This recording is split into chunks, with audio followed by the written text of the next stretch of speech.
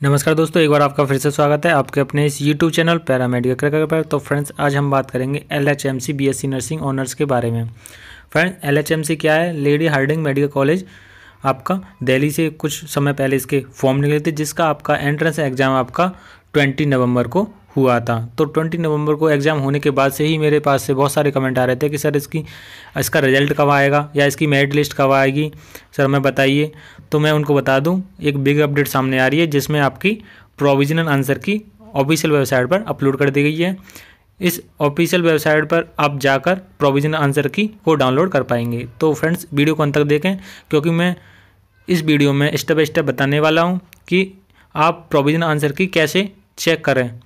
तो friends, video को अंत तक देखना है। अगर फ्रेंड्स, अगर हम चैनल पर पहली बार जुड़ रहे हैं तो चैनल को ज़रूर सब्सक्राइब करके रखें और बेल आइकन को भी प्रेस करके रखें, ताकि मैं जब भी वीडियो बनाऊँ तो उसकी नोटिफिकेशन आपको सबसे पहले मिल सके।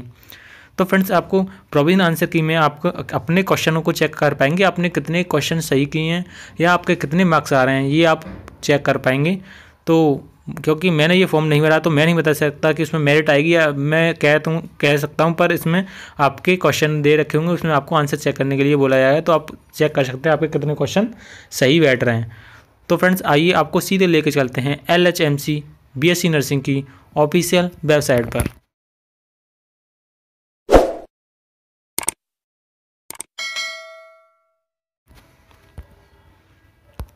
तो फ्रेंड्स आप अपने क्रोम ब्राउज़र पे आ जाएँगे तो वहाँ पे आपको टाइप जैसे करने की स्क्रीन पे आपको दिखाई देगा L H M C E N T A A C dot in आपको टाइप करना है। टाइप करने के बाद ही आपको फ़र्स्ट लिंक दिखाई दे रखा होगा।